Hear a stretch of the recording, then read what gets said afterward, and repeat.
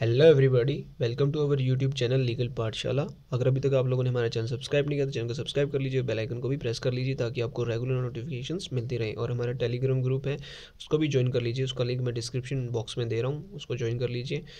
तो अभी तक हमने डिस्कस किया है सेक्शन ट्वेंटी वन तक, हम ऑलरेडी डिस्कस कर चुके हैं। आज हम डिस्कस करेंगे section twenty two of the limitation act nineteen sixty three thirty six act of nineteen sixty three जो बाकी की जो हमारी वीडियोज़ हैं, वो आप देख सकते हैं हमारे चैनल पर जाके।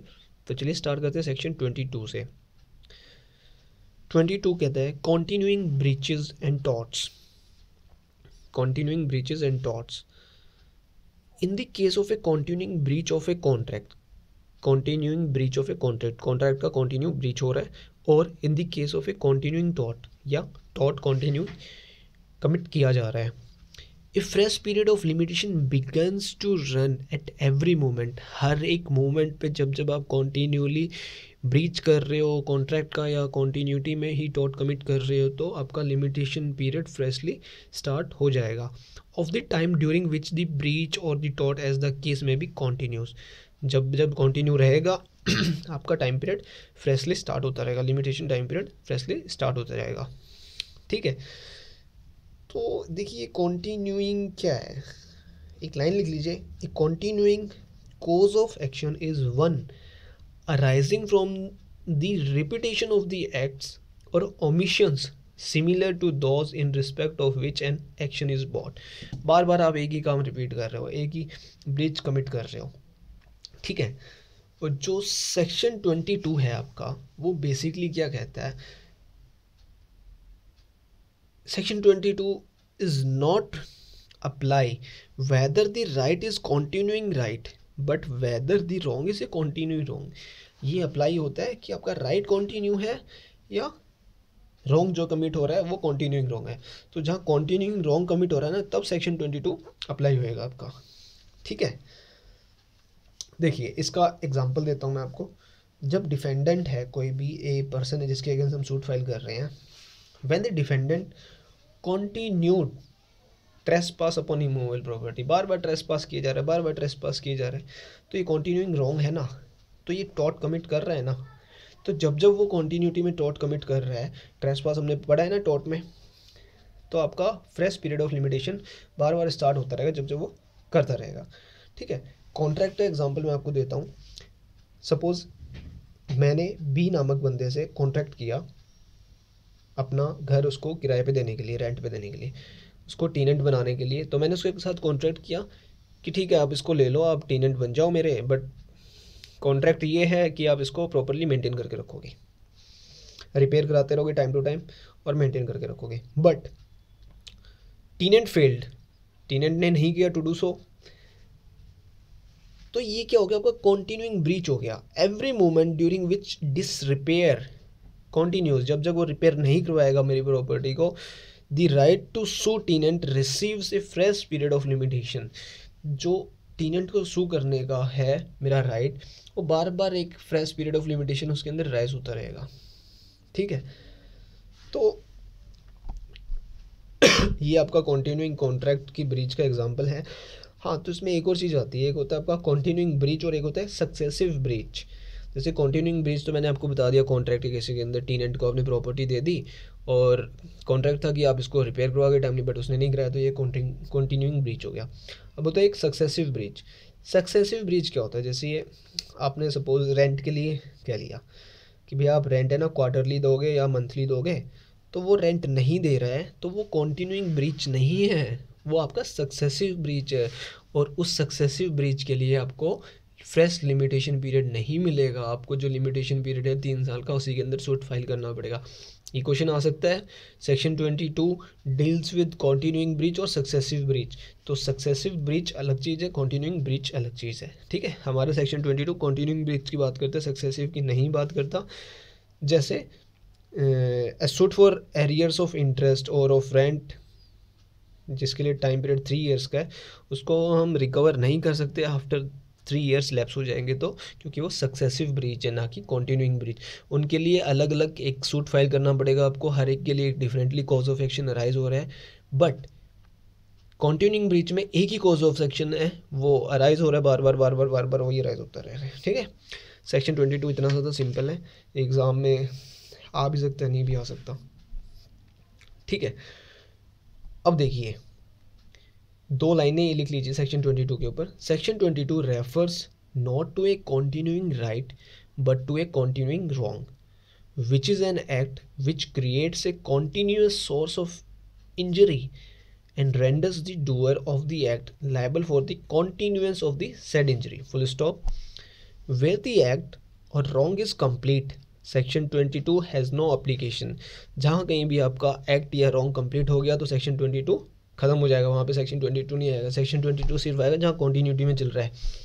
If the wrongful act causes an injury which is complete there is no continuing wrong even the though the damage resulting from the act may continue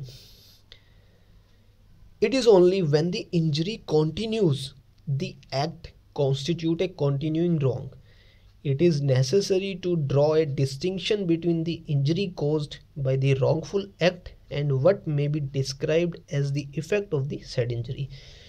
22 simple सी बात करता है। कॉन्टीन्यूइंग ब्रीच हो रहा है तो मैं अप्लाई हो जाऊँगा। अगर कॉन्टीन्यूइंग ब्रीच नहीं हो रहा कंप्लीट हो चुका है आपका रॉन्ग एक बार उसने ब्रीच कर दिया, उसके बाद कुछ कर ही नहीं रहा तो सेक्शन टू ट्वेंटी टू आपका अप्लाई नहीं होगा सिंपल सी बात है, ठीक है? अब देखते हैं section twenty three suit for compensation for acts not actionable without special damage twenty three भी बड़ा इंपॉर्टेंट सेक्शन है। बेसिकली ये जो आपके टॉट के ऊपर बेस्ड सूट होते हैं, उन्हीं के ऊपर अप्लाई होता है। Applies only to suits based on taught देखिए in the case of a suit for compensation of an act which does not give rise to a cause of action एक suit एक ऐसा है। For compensation of an act के लिए आप suit file कर रहे हैं but which does not give rise to a cause of action को वो नहीं क्रिएट करता, नहीं बनाता unless some specific injury actually result therefrom जब तक एक स्पेसिफिक इंजरी ना हो जाए। The period of limitation shall be computed from the time when the injury result ये कह रहे ठीक है, एक एक्ट तो कमिट कर दिया किसी बंदे ने बट उससे ना कॉज ऑफ़ एक्शन अराइज नहीं होगा। कॉज ऑफ़ एक्शन कब अराइज होगा? जब आपको उस एक्ट की वजह से कोई स्पेशल इंजरी कॉज हो जाएगी। तो उसकी वजह से आपका कॉज ऑफ़ एक्शन अराइज होगा, और जिस दिन इंजरी हुई, आपको उस दिन से आपका लिमिटेशन टाइम पीरियड स्टार्ट हो जाएगा। देखिए इसके ऊपर दो लाइन लिखवा देता हूँ, जो प्रिंसिपल है सेक्शन 23 का, वो क्या कहता है? One the cause of action lies not in a specific act or omission but in the resulting damage the statute runs from the time when the plaintiff sustains the loss full stop the effect which this section causes in the operation of the statute of limitation is not to extend or to restrict any period of limitation but to modify the date or time from which the cause arises. कह रहा है सिर्फ़ और सिर्फ़ cause of action rise होने से section twenty three apply नहीं होगा कह रहा है उसके लिए आपको ना स्पेशल इंजरी भी कॉज होनी चाहिए आपके ठीक है? बेसिकली सेक्शन ट्वेंटी थ्री आपका अप्लाइज होता है suits based on taught and does not apply to a case of negligence which constitute a breach of contract ठीक है? एंड ये आपका कॉन्ट्रैक्ट के ऊपर भी अप्लाई नहीं होता, जो ब्रीच होता है कॉन्ट्रैक्ट के, वो भी ट्वेंटी थ्री के अंदर फॉल नहीं होता क्योंकि जो दी वर्ड इंजरी यूज़ हुआ है इसके अंदर, वो है इंक्लूड करता है आपकी लीगल इंजरी होनी चाहिए आपको बेसिकली ठीक है? Section twenty three does not give as the date from which time begins to run the date on which the plaintiff become aware of the loss but mentions the date on which the loss actually result ठीक है जिस दिन आपको cause arise हुआ, उस दिन से मैं स्टार्ट नहीं हो रहा लिमिटेशन टाइम पीरियड जिस दिन आपको इंजरी हो रही है ना, उस दिन से मैं टाइम पीरियड स्टार्ट हो जाएगा आपका लिमिटेशन का। ठीक है? बेसिकली आपको सिर्फ़ याद रखना है ट्वेंटी थ्री आपका टॉट के रिगार्डिंग आप कोई भी स्टूडेंट इंस्टीट्यूट करते हो तो उसके ऊपर अप्लाई होता है। ठीक है? अब ट्वेंटी फोर देखते हैं। ट्वेंटी फोर कहता है computation of time mention in instruments instruments की डेफिनेशन आप हम टीपीए में पढ़ सकते हैं टीपीए में दे रखी होती है आपकी। कोई भी डॉक्यूमेंट होता है जिसके थ्रू हम कुछ भी क्रिएट करते हैं। ठीक है? मैं एक बार देख के, चलो बाद में देख लेंगे। Instrument means a non testamentary instrument जो आपके टी में ये डेफिनेशन दे रखी है। इंस्ट्रूमेंट कोई भी डॉक्यूमेंट लगा लो यार, ठीक है? All instrument shall for the purpose of this act सिर्फ़ और सिर्फ़ इस एक्ट के पर्पज़ के लिए be deemed to be made with reference to the Gregorian calendar section twenty four से सिर्फ़ एक क्वेश्चन आ सकता है लिमिटेशन के, कि लिमिटेशन एक्ट के अंदर जो भी हम रेफरेंस लेते हैं for the purpose of instruments वो कौन से कैलेंडर से लेते हैं? ग्रिगोरियन कैलेंडर इसको आप अंडरलाइन करके लिख सकते हैं section forty nine of I P C जिसके अंदर हम ईयर और मंथ को ब्रिटिश कैलेंडर के हिसाब से काउंट करते हैं। तो आई होप आपको वीडियो अच्छी लगी होगी। अगर कोई डाउट है तो कमेंट बॉक्स में कमेंट करके मुझसे पूछ सकते हैं। वीडियो अच्छी लगी हो तो लाइक करना शेयर करना और चैनल को सब्सक्राइब करना मत भूलिएगा।